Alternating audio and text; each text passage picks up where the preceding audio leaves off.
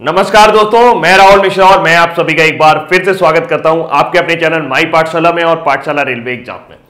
रोज की तरह, आज भी आपके लिए करंट अफेयर्स लेकर आ गया हूँ। आज तारीख है 19 जून, आज के इंपॉर्टेंट करंट अफेयर्स हम लोग यहाँ पर कवर करने वाले हैं। पहले हम लोग डिटेल सेक्शन कवर करेंगे, फिर वन लाइनर करेंगे और फिर उसके बाद क्विज करेंगे, जिसकी वजह से आपको जो करंट अफेयर्स है, वो बेहद अच्छी तरीके से याद हो जाएगा। मेरा जो उद्देश्य रहता है करंट अफेयर्स का, मेरा इस तरह से रहता है कि कहीं आप बोर ना हो करंट अफेयर्स आपको एक कहानी की तरीके लगे, जैसे आप कोई न्यूज़ चैनल देख रहे हो, केवल उसी तरीके से लगे। आपको बहुत ज़्यादा डेटा देने का भी मेरा कोई मकसद नहीं रहता कि मैं आपको बहुत सारा डेटा निकाल के दे दूँ। उससे होगा क्या कि आप देखते हैं कि कई सारे करंट अफेयर्स आपको पढ़ाने वाले मिलेंगे, जो बहुत सारा डेटा आपको दे देंगे एक साथ, एक करंट अफेयर्स में। लेकिन वो कितने दिन तक आपको याद रहेगा? ऐसा तो बहुत सारा डेटा आपके पास किताबों में भी पड़ा हुआ है तो आप वीडियो क्यों देख रहे हो? तो सीधा सटीक हम उतना ही पढ़ना चाहिए, जितना उतना ही समझना चाहिए, जितना हमारे एग्ज़ाम पॉइंट ऑफ़ व्यू से इंपॉर्टेंट हो। तो फ़िलहाल, चलते हैं वापस अपने करंट अफेयर्स की तरफ़। एक क्वेश्चन आपकी स्क्रीन पर लिखा हुआ है कि फॉरेन डायरेक्ट इन्वेस्टमेंट के मामले में भारत को कौन सा स्थान हासिल हुआ है? आज हमारी पहली न्यूज़ भी वहीं से है। अभी हाल ही में अंक टाड ने अंक टाड के बाद अंक टाड के बारे में चर्चा हम अगली स्लाइड में करेंगे। अंक टाड ने एक रिपोर्ट जारी की और उसमें बताया कि फॉरेन डायरेक्ट इन्वेस्टमेंट हासिल करने के मामले में भारत विश्व के नौवें देश पर पहुँच गया। पिछले साल भारत की रैंकिंग 12 है। आगे जाने से पहले थोड़ी सी चर्चा कर लेते हैं कि फॉरेन डायरेक्ट इन्वेस्टमेंट होता क्या है। फॉरेन डायरेक्ट इन्वेस्टमेंट जिसे हिंदी में प्रत्यक्ष विदेशी निवेश कहा जाता है, किसी एक देश की कंपनी द्वारा, किसी दूसरे देश की कंपनी में किया गया निवेश ही फॉरेन डायरेक्ट इन्वेस्टमेंट होता है। यह करने के दो तरीके होते हैं। एक होता है ग्रीन फ़ील्ड इन्वेस्टमेंट एक होता है portfolio investment green field investment में जब आप किसी दूसरे देश में जाकर एक नई कंपनी शुरू करते हैं तो उस तरह के निवेश को ग्रीन फ़ील्ड इन्वेस्टमेंट कहा जाता है। जबकि पोर्टफोलियो इन्वेस्टमेंट के मामले में आप किसी दूसरे देश की कंपनी में कुछ शेयर खरीद लेते हैं, वहाँ पर आपको उनके अंदर मतदान का अधिकार मिल जाता है। भारत की बात करें तो कम से कम 10 प्रतिशत हिस्सेदारी फॉरेन डायरेक्ट इन्वेस्टमेंट के लिए होनी चाहिए। जब जब आपको 10 प्रतिशत हिस्सेदारी मिलती है, तभी आपका प्रत्यक्ष विदेशी निवेश माना जाएगा। भारत के अंदर दो तरीके से हो सकता है निवेश कर सकते हो आप। एक स्वतः चालित रूट है, जिसे हम लोग ऑटोमेटिक रूट कहते हैं। मोदी सरकार ने कई सारे सेक्टर ऐसे हैं जो पहले आपके गवर्नमेंट रूट के अंदर होते थे, उसको ऑटोमेटिक सेक्टर में ला दिया है, जिसमें से डिफेंस भी एक प्रमुख है। आपका पेट्रोलियम भी उनमें से एक प्रमुख है। और अगर बात करें तो इसमें सौ प्रतिशत एफडीआई है, यानी कि 100 प्रतिशत तक कोई व्यक्ति निवेश कर सकता है, कोई कंपनी निवेश कर सकती है। पिछले कुछ समय पहले, जब कोरोना वायरस का हमारे यहाँ पूरे देश में हाहाकार मचा हुआ था, लॉकडाउन चल रहा था तो उस समय भारत ने अपने पड़ोसी देशों को निवेश करने से रोक दिया था। लेकिन ऐसा नहीं कि उन्होंने पूरा निवेश करने से रोक दिया था, उन्होंने ऑटोमेटिक रूट के ज़रिए निवेश करने से रोक दिया था, जबकि गवर्नमेंट रूट के ज़रिए वो निवेश कर सकते थे, यानी कि किसी भी कंपनी में निवेश करने से पहले उन्हें सरकार की परमिशन लेनी पड़ेगी। अब बात करते हैं फॉरेन डायरेक्ट इन्वेस्टमेंट की। तो फॉरेन डायरेक्ट इन्वेस्टमेंट के मामले में देखा जाए तो भारत जो है, वो आपका नौवे नंबर पर आया है। अब न्यूज़ कवर करते हैं। संयुक्त राष्ट्र के व्यापार और विकास सम्मेलन, यानी कि अंगटाड ने the UN Conference on Trade and Development ने रिपोर्ट दी कि 15 जून को विश्व निवेश रिपोर्ट 2020 जारी की है। इस रिपोर्ट के अनुसार भारत 2019 में इक्यावन अरब डॉलर का प्रत्यक्ष विदेशी निवेश हासिल करने के साथ वर्ष के दौरान दुनिया भर में नौवें स्थान पर रहा है। विकासशील एशिया क्षेत्र में भारत सबसे ज़्यादा एफडीआई प्राप्त करने वाले शीर्ष पाँच देशों में शामिल रहा। वर्ष 2018 में भारत को 42 अरब डॉलर का एफडीआई यानी कि फॉरेन डायरेक्ट इन्वेस्टमेंट प्राप्त हुआ था, जबकि 2020 में इसे छप्पन डॉलर का आपका इक्यावन डॉलर, इक्यावन अरब डॉलर का फॉरेन डायरेक्ट इन्वेस्टमेंट यानी कि एफडीआई प्राप्त हुआ है। बयालीस डॉलर से, और पिछले साल भारत की रैंक बारहवीं थी, जबकि इस साल भारत की रैंक नौवीं हो गई है। रिपोर्ट में बताया गया कि कोविड 19 के चलते 2020 में दुनिया भर में एफडीआई में 40 प्रतिशत तक गिरावट आने का अनुमान लगाया गया है। या गिरावट 2019 में 1540 अरब डॉलर के प्रवाह के मुकाबले आ सकती है। यदि ऐसा हुआ तो 2005 के बाद पहला अवसर होगा कि दुनिया के देशों में एफडीआई पहली बार 1000 अरब डॉलर के निकले के नीचे आ जाएगा। सबसे ज़्यादा एफडीआई प्राप्त करने वाला इस बार भी यूनाइटेड स्टेट रहा, जिसने 246 अरब डॉलर का एफडीआई प्राप्त किया। पिछले साल उसने दो सौ चौवन अरब डॉलर का एफडीआई प्राप्त किया था। दूसरे नंबर पर चाइना है, जिसने 141 अरब डॉलर का एफडीआई प्राप्त किया, जबकि 138 अरब डॉलर उसने पिछली बार किया था। सिंगापुर ने भी अपना स्थान बनाए रखा है और पाँचवें स्थान पर सिंगापुर है, जिसने बानवे अरब डॉलर का निवेश प्राप्त किया है। जबकि नीदरलैंड जो है, वो तीसरे नंबर पर आया है, जिसने 114 अरब डॉलर का निवेश प्राप्त किया है, जबकि हांगकांग, चाइना के बाद 104 अरब डॉलर का प्रत्यक्ष प्रत्यक्ष विदेशी निवेश प्राप्त करने वाला देश रहा है। तो इस तरीके से अगर आप देखें तो इंडिया का जो है वो उसने इक्यावन अरब डॉलर का निवेश प्राप्त किया है 2019-20 के मुकाबले। अंकटाट की बात करें तो संयुक्त राष्ट्र व्यापार और विकास सम्मेलन, जिसे United Nation Conference on Trade and Development भी कहा जाता है यह संयुक्त राष्ट्र संघ की एक संस्था है, इसकी स्थापना उन्नीस में की गई थी। यह संस्था व्यापार, निवेश, विकास के मुद्दों संबंधित उद्देश्य को लेकर चलती है और देशों के बीच में सामंजस्य बनाए रखती है। मुख्य वर्तमान समय में इसके हेड यानी प्रेसिडेंट मुखीसा कितोई है, जो कि आपके केनिया से आते हैं। इसकी स्थापना 30 सितंबर 30 दिसंबर उन्नीस में की गई थी। इसका मुख्यालय जेनेवा, स्विट्जरलैंड में है। अगली जानकारी की तरफ़ चलते हैं। यूएस ओपन के लिए न्यूयॉर्क के गवर्नर ने मंजूरी दे दी है। जैसा कि आप सभी को पता है कि अभी तक सिर्फ़ एक ग्रैंड स्लैम हो पाया है। इस साल वो है ऑस्ट्रेलियन ओपन ऑस्ट्रेलियन ओपन के बाद फ्रेंच ओपन होना था फिर उसके बाद विम्बल्डन होना था तो फ्रेंच ओपन तो रद्द नहीं किया गया है लेकिन विम्बल्डन को रद्द कर दिया गया है। उसके बाद आपका यूएस ओपन का नंबर आता है यानी कि अमेरिकी ओपन भी इसे कहा जाता है। अमेरिकी ओपन अब आपका यहाँ पर उसको कर, इसको आयोजित करने की मंजूरी मिल गई है लेकिन वो खाली स्टेडियम में आयोजित किया जाएगा कोविड 19 के कहर के चलते। तो न्यूयॉर्क के गवर्नर एंड्रयू क्यूमो ने यूएस ओपन टेनिस टूर्नामेंट 2020 के लिए मंजूरी दे दी है। इसका आयोजन 31 अगस्त से 13 सितंबर 2020 तक खाली स्टेडियम में होगा।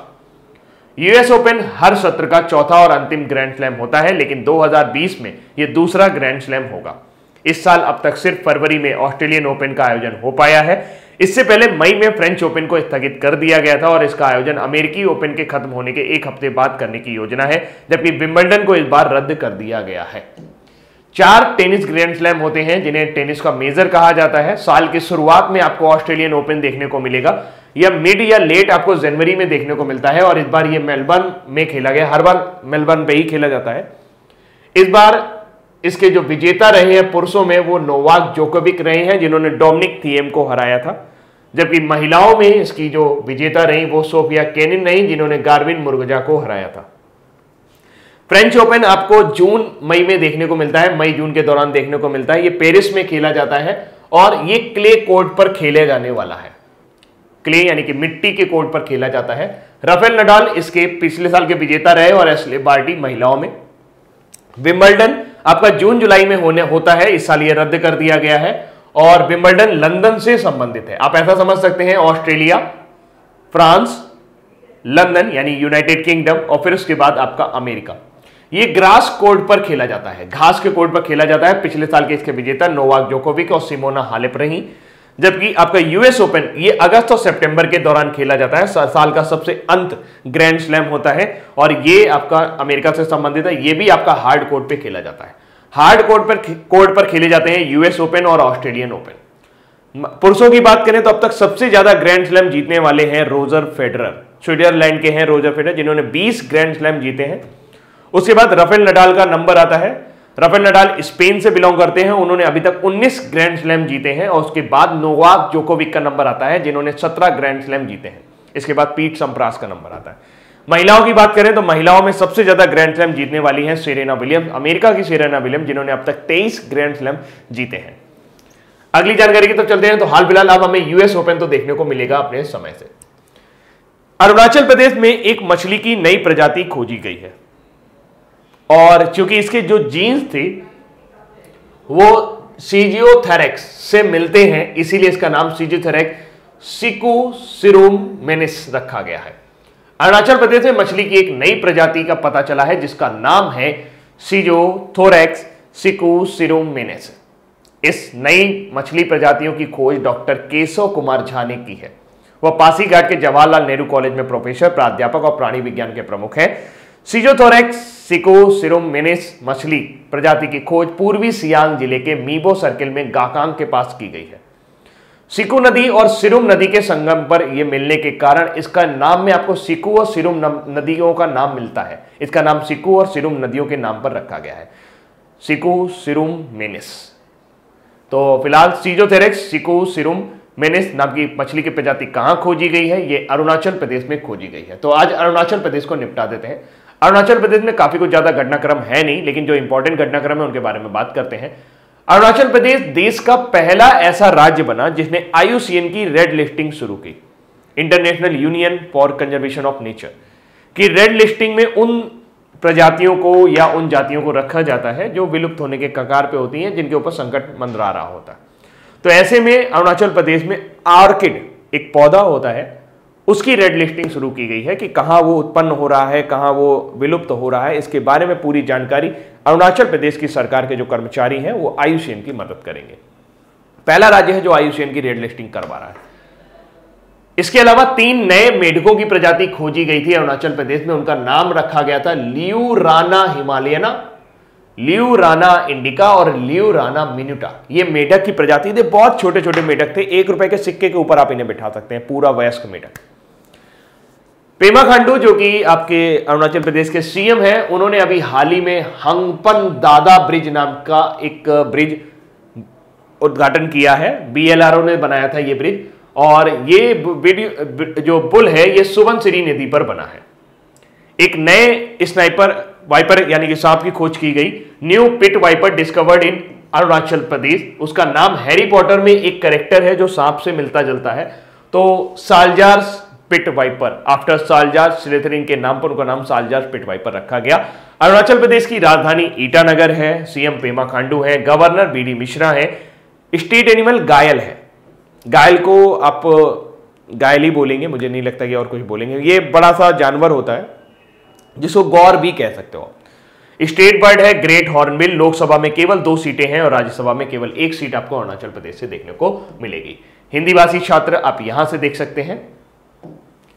अगली जानकारी है, बहुत बढ़िया जानकारी है कि भारत को एक बार फिर से यूएन सिक्योरिटी काउंसिल का अस्थायी सदस्य चुन लिया गया है। फ़ायदा क्या होगा? फ़ायदा वही होगा कि जब आप किसी संस्था को रिप्रेजेंट कर रहे होते हैं, लोग आपके सपोर्ट में होते हैं, जैसे हमारी बात कोई नहीं सुनता, लेकिन अगर कोई राजनेता आ जाए, कोई विधायक आ जाए तो उसकी बात सुनी जाएगी। एग्जैक्टली exactly वही है। यूनाइटेड नेशन सिक्योरिटी काउंसिल विश्व की सबसे ताकतवर संस्था है सुरक्षा के मामले में। अगर कहीं किसी देश में दो देशों के बीच में स्थितियाँ बिगड़ती हैं तो यूनाइटेड नेशन सिक्योरिटी काउंसिल ही वो संस्था होती है जो ये डिसाइड करती है कि वहाँ पर सेना भेजी जानी है कि नहीं भेजी जानी है। शांति स्थापना के लिए इसके सैनिक जाते हैं, जिन्हें शांति दूत कहा जाता है। तो भारत अगर यूएनएससी का सदस्य हो गया है तो इसका मतलब यह है, भारत का चुनाव एशिया पैसिफिक क्षेत्र से किया गया है, यानी एशिया प्रशांत क्षेत्र से किया गया है। एशिया प्रशांत क्षेत्र में आने वाले तिरपन देश ने भारत का समर्थन किया, जिसमें चीन और पाकिस्तान भी शामिल है।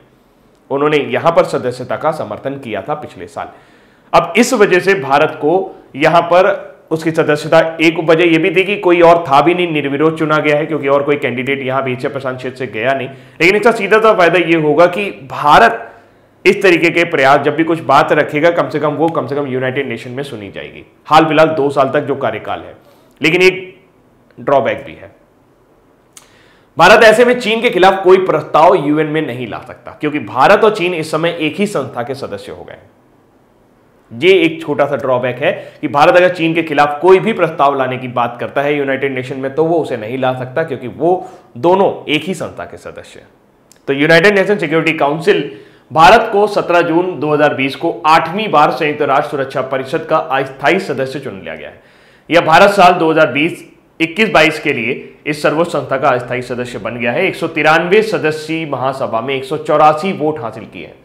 दो साल के कार्यकाल हेतु भारत को संयुक्त राष्ट्र सुरक्षा परिषद का अस्थायी सदस्य चुना गया है।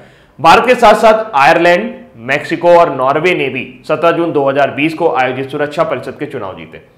भारत साल 2021-22 के कार्यकाल के लिए एशिया पैसिफिक कैटेगरी से अस्थायी सीट के लिए उम्मीदवार था। भारत इससे पहले उन्नीस सौ पचास इक्यावन, सड़सठ, अड़सठ बहत्तर, तिहत्तर, सतहत्तर, अठहत्तर, चौरासी, पिचासी, इक्यानवे, बानवे और ग्यारह बारह में यह ज़िम्मेदारी निभा चुका है और आठवीं बार भारत का सुरक्षा परिषद में पहुँचना काफ़ी ज़्यादा महत्वपूर्ण है। महासभा प्रत्येक दो साल के लिए, दो वर्ष के कार्यकाल के लिए कुल दस में से पाँच स्थायी पाँच अस्थायी सदस्यों का चुनाव करती है। परिषद में चुने जाने के लिए उम्मीदवार देशों के सदस्य देशों को दो तिहाई बहुमत की आवश्यकता होती है। यूनाइटेड नेशन सिक्योरिटी काउंसिल की बात करें तो इसमें कुल पंद्रह सदस्य होते हैं, जिसमें से पाँच स्थायी सदस्य हैं। जिनके पास वीटो पावर होती है। और वो पाँच स्थायी सदस्य आपके हैं यूएस यानी संयुक्त राज्य अमेरिका यूके यानी कि इंग्लैंड, फ्रांस, रसिया और चाइना, जिनके पास वीटो पावर होती है। जबकि 10 सदस्य अस्थायी होते हैं और 10 में से पाँच हर साल दो वर्ष के कार्यकाल के लिए चुने जाते हैं। यूनाइटेड नेशन सिक्योरिटी काउंसिल में अगर देखा जाए तो भारत का ये आठवां कार्यकाल होगा। एक सौ तिरानवे देशों में उसे एक सौ चौरासी वोट हासिल हुए थे और अब भारत सिक्योरिटी काउंसिल में एक मज़बूत पकड़ रखेगा संयुक्त राष्ट्र सुरक्षा परिषद की बात करें तो संयुक्त राष्ट्र सुरक्षा परिषद संयुक्त राष्ट्र के छह प्रमुख अंगों में से एक है, जिसका उत्तर उत्तरदायित्व है कि अंतर्राष्ट्रीय शांति और सुरक्षा बनाए रखना। परिषद को अनिवार्य निर्णयों को घोषित करने का अधिकार भी है। ऐसे किसी निर्णय को संयुक्त राष्ट्र सुरक्षा परिषद का प्रस्ताव कहा जाता है। मुख्यालय न्यूयॉर्क में है। स्थापना 24 अक्टूबर 1945 यानी जब संयुक्त राष्ट्र की स्थापना हुई, तभी इसकी स्थापना भी हुई। संयुक्त राष्ट्र के वर्तमान समय में जो सचिव है, वो है एंटोनियो गुतरेस अगली जानकारी तब चलते हैं। ये नाबार्ड से जुड़ी हुई है। नाबार्ड के बारे में मैं भी आ, मैंने आपको पिछले महीने एक अपॉइंटमेंट के बारे में बताया था उसके बारे में ज़रूर चर्चा करेंगे लेकिन अभी हाल फ़िलहाल न्यूज़। नाबार्ड यानी National Bank for Agriculture and Rural Development की एक निवेश शाखा है जिसका नाम है नाब वेंचर्स। इसकी स्थापना अभी की गई है और अब ये कंपनियों में निवेश करेगी खासकर उन कंपनियों में जो ग्रीन फ़ील्ड की कंपनियाँ हैं। ग्रीन फ़ील्ड की कंपनियाँ उन्हें कहते हैं जो कृषि आधारित उद्योगों पर काम करती हैं। तो ग्रामीण फिनटेक स्टार्टअप एक जय किसान नाम का एक फिनटेक स्टार्टअप है, उसमें अपना पहला निवेश किया है। नाव वेंचर्स को मई 2019 में 500 करोड़ से अधिक प्रस्तावित कॉप्स के साथ लॉन्च किया गया था। मुंबई स्थित स्टार्टअप में 30 करोड़ के फंडिंग राउंड के हिस्से के रूप में इसमें निवेश किया गया है और जय किसान जो है, ये किसानों के लिए हितकारी हितकारी कार्यों से जुड़ी हुई एक कंपनी है। राष्ट्रीय कृषि और ग्रामीण विकास बैंक की बात करें तो जो इसका मैं न्यूज़ की बात कर रहा था, अभी हाल ही में गोविंद राजोलू चिंटाला जी को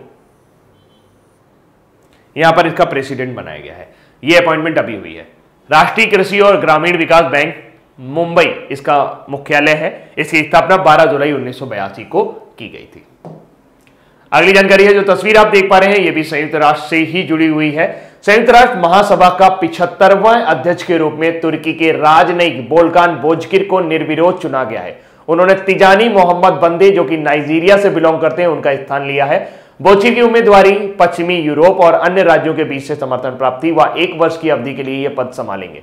बोलकान बोचकिर को उनके पक्ष में एक सौ अठहत्तर वोट मिले क्योंकि 11 राष्ट्रों ने मतदान नहीं किया। मतदान गुप्त माध्यम से किया गया था। बोलकान बोचकिर जनरल असेंबली के मुखिया बनने वाले पहले तुर्की नागरिक हैं। यानी कि पहली बार तुर्की से किसी को यहाँ पर संयुक्त राष्ट्र महासभा का हेड बनाया गया। तिजानी मोहम्मद बंदे अभी आपके चौहत्तरवें अधिवेशन के हेड थे, जो एक साल का कार्यकाल उनका पूरा हो गया। अब उनकी जगह आए हैं बोलकान बोजकिर, तुर्की से। अगली जानकारी तरफ़ चलते हैं। खेल मंत्रालय ने अपना एक फ्लैगशिप कार्यक्रम शुरू किया है, खेलो इंडिया योजना। इसके लिए उन्होंने सेंटर बनाने की बात की है। सेंटर वो जहाँ पर खेल सीखे जा सके, खेलों के बारे में साक्षरता बढ़ाई जा सके, खेलों के बारे में नॉलेज बढ़ाई जा सके। तो Khelo India State Centres of Excellence की स्थापना करना जा रहा है। पूरे देश में एक मज़बूत खेल पारिस्थितिकी तंत्र को बनाने के प्रयासों के तहत प्रत्येक राज्य में केंद्र शासित प्रदेश एक किसके को चिन्हित करेगा? किसके की स्थापना के पहले चरण में खेल मंत्रालय ने भारत के आठ राज्यों में सरकारी स्वामित्व वाले ऐसे खेल सुविधा केंद्रों की पहचान की है। ये राज्य हैं अरुणाचल प्रदेश, मणिपुर, मिजोरम, केरल, तेलंगाना, नागालैंड, कर्नाटक और उड़ीसा। इन राज्यों में सरकारी स्वामित्व वाले ऐसे खेल सुविधा केंद्रों की पहचान की गई है, जिन्हें Khelo India State Centres of Excellence के रूप में अपग्रेड किया जाएगा और वहाँ पर जो नए नए खिलाड़ी हैं, उनको प्रोत्साहित किया जाएगा कि वो आए, खेलें और सीखें।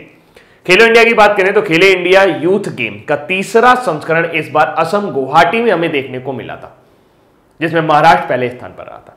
जबकि खेलो इंडिया यूनिवर्सिटी गेम्स का पहला संस्करण यह उड़ीसा में आयोजित किया गया था, भुवनेश्वर में। और इसमें पंजाब यूनिवर्सिटी जो है वो टॉप पर रही थी।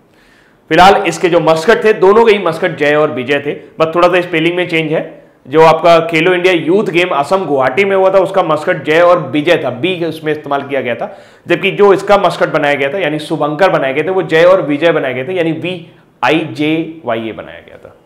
तो आई थिंक क्लियर हो गया होगा कि स्टेट सेंटर ऑफ़ एक्सीलेंस की स्थापना कौन करने जा रहा है? खेल मंत्रालय। वर्तमान समय में खेल मंत्री कौन है? किरण रिजिजू। अगली जानकारी भी खेल से है। अजरबैजान के ग्रैंड मास्टर सखरियार मामद दिरो ने World Star Sharjah Online International शतरंज चैंपियनशिप जीत ली है। उन्होंने 10 राउंड में 7.5 अंक स्कोर करके प्रतिष्ठित किताब और 3000 डॉलर की पुरस्कार राशि जीती है।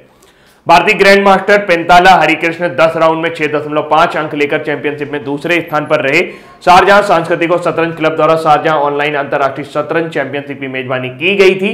यह प्रतियोगिता शारजहां स्पोर्ट काउंसिल के अध्यक्ष शेख साखर बिन मोहम्मद अल कासिमी के संरक्षण में आयोजित की गई। तो किसने जीता है? अजरबैजान के ग्रैंड मास्टर सखरियार मामे दिरेव ने World Star Sharjah Online International शतरंज चैंपियनशिप जीत ली है। मुझे नहीं लगता शायद ही किसी एग्ज़ाम में ये पूछा जाएगा। अगली जानकारी है, खादी एवं ग्रामोद्योग आयोग द्वारा महाराष्ट्र के पालघर ज़िले में नीरा एवं ताड़गुड़ का उत्पादन करने के लिए अनूठी परियोजना शुरू की गई है। नीरा हमारे यहाँ उत्तर प्रदेश में ताड़ी बोला जाता है। सेहत के लिए अच्छी होती है, लेकिन ये नशीली होती है, नशा वगैरह आ जाता है इससे। केवीआईसी द्वारा आरंभ की गई परियोजना का उद्देश्य यह है कि ताड़ी को सॉफ्ट ड्रिंक के रूप में विकसित किया जाए या नीरा को सॉफ्ट ड्रिंक के रूप में बढ़ावा दिया जाए। और इससे एक उद्योग बना दिया जाए, इसे एक एक पर्टिकुलर आजीविका का ज़रिया बनाया जाए। क्योंकि महाराष्ट्र में काफ़ी ज़्यादा ताड़ के पेड़ आपको देखने को मिलेंगे। महाराष्ट्र में 50 लाख से अधिक ताड़ के पेड़ हैं। परियोजना के अंतर्गत केवीआईसी ने नीरा निकालने और ताड़ गुड़ बनाने के लिए 200 स्थानीय कारीगरों को टूल किट वितरित की है। इस टूल किट में फ़ूड ग्रेड स्टेनलेस स्टील कढ़ाई पर फोर्टेड मोल्ड कैंटीन बर्नर्स और चाकू, रस्सी और नीरा निकालने के लिए कुढ़ारी जैसे अन्य उपकरण भी शामिल हुए। नीरा को सूर्योदय से पहले ताड़ के पेड़ से निकाला जाता है और भारत के कई राज्यों में एक पोषक स्वास्थ्य पेय के रूप में इसे पिया जाता है। तो महाराष्ट्र सरकार किसको शुरू कर रही है? नीरा और ताड़गुड़ के उत्पादन के लिए एक यूनिट शुरू कर रही है और उसमें उन्होंने जो ऑपरेटर्स लगते हैं वो थोड़ा सा इसको दिए।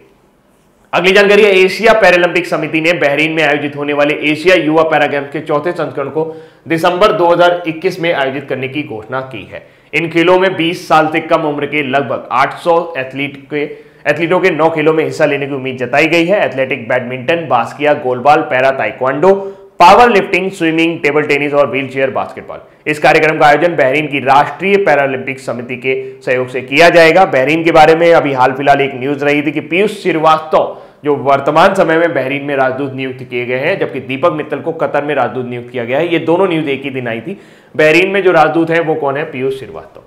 अगली जानकारी है, सस्टेनेबल गैस्ट्रोनॉमी डे। 18 जून को, हर साल 18 जून को विश्व स्तर पर सस्टेनेबल गैस्ट्रोनॉमी डे मनाया जाता है। या दिन गैस्ट्रोनॉमी के प्रकृति से संबंधित सांस्कृतिक अभिव्यक्ति सहित दुनिया की सांस्कृतिक विविधता के रूप में स्वीकार करने के लिए मनाया जाता है। गैस्ट्रोनॉमी का संबंध, इसे कभी कभी आप पाक कला यानी कि पकाने की कला अथवा भोजन बनाने की कला भी कहा जाता है।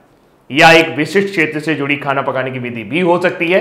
दूसरे शब्दों में कहें तो गैस्ट्रोनॉमी अक्सर स्थानीय भोजन और रसोई संबंधी व्यवस्था को संदर्भित करता है कि क्या जैसे आपके यहाँ पंजाब में अलग तरीके से बना, खाना बनाया जाता है, हमारे यहाँ अलग तरह से खाना बनाया जाता होगा तो अलग अलग जगहों पर अलग अलग बनाया जाता है तो उस संस्कृति को बचाए रखने के लिए, उस पाक कला को बचाए रखने के लिए यह दिन मनाया जाता है। इसके अलावा एक उत्सव के बारे में बात करते हैं, उड़ीसा में मनाया गया है रज पर्व या राजा पर्व।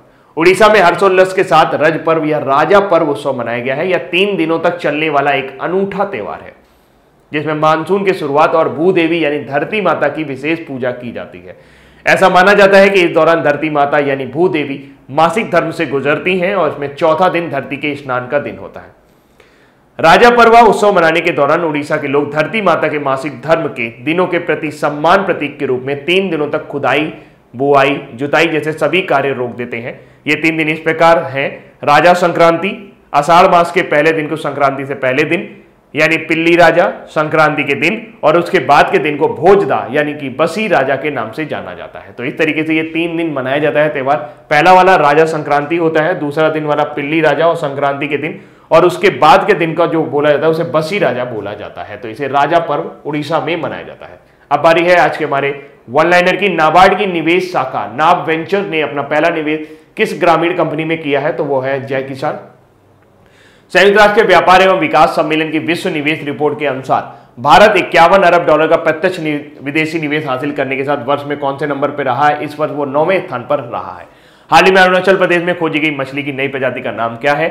सिजोथोरस, सिकू, सिमु, सिकू मेनेस। भारत कितने कौन सी बार? संयुक्त राष्ट्र सुरक्षा परिषद का स्थायी सदस्य चुना गया है, आठवीं बार। एशियाई युवा पैरा गेम्स के चौथे संस्करण कहाँ आयोजित होंगे? बहरीन में। संयुक्त राष्ट्र महासभा के पिछहत्तरवें राष्ट्रपति के रूप में किन्हें चुना गया है या प्रेसिडेंट के रूप में, यानी अध्यक्ष के रूप में चुना गया है? यहाँ पर राष्ट्रपति नहीं, अध्यक्ष होना चाहिए। बोलकान बोजकेर।